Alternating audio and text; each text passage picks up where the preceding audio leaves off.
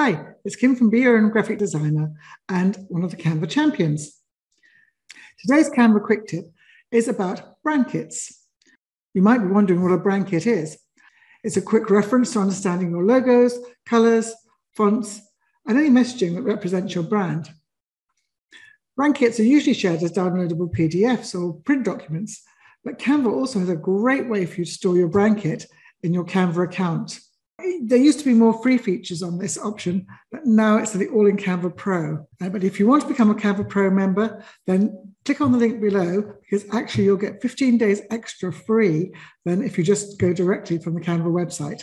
Your brand kit ensures that all your marketing and communications are accurate and on brand. As your business grows, you want to make sure that your brand image and message don't become diluted or misrepresented.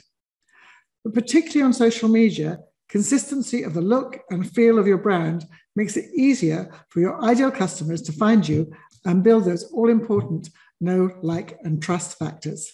I'm going to go across to my Canva screen now and show you where you find the brand kit.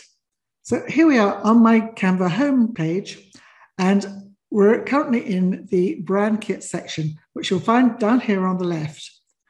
And as you can see, it is a pro feature because it has the crown. I click directly into it. When you first see it, you'll have the options to add a brand kit. But because I have several of my clients' brand kits on here and I haven't asked their permission, I didn't think I'd share, share the whole screen with you. But let's talk briefly about what you can do with a pro account brand kit. You can have up to 100 separate brands, which, if you are doing graphics for other people, is fantastic. You can upload your own fonts, which I found incredibly useful because one of the main fonts that I use is not on Canva. And you can have unlimited logos and backgrounds. And uh, on Be Your Own Graphic Designer, we have a lot of different colors. We work on six main color themes. And I also have my logo here. And I have my Canva Champions badge. It's very convenient to have all my graphic images in here to add another brand logo, and you'd think I'd have enough, but I don't. I'm going to add this lady with short dark hair who we use as part of our imagery.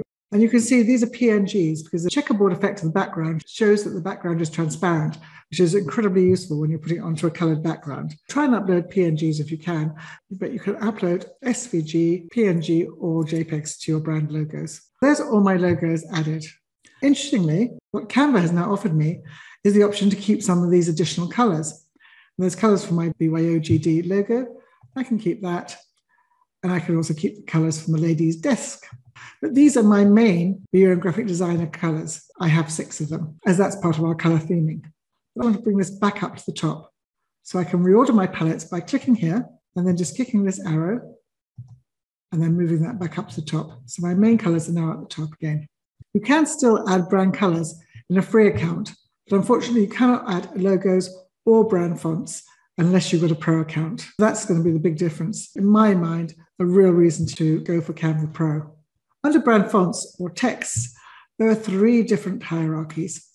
You can have headings, subheadings, and then you have body text. And I've got mine set up here. This is Architect's Daughter, probably to make that a little larger. I'm going to change that to 42 so I can change the font size. It's probably a little smaller, 18.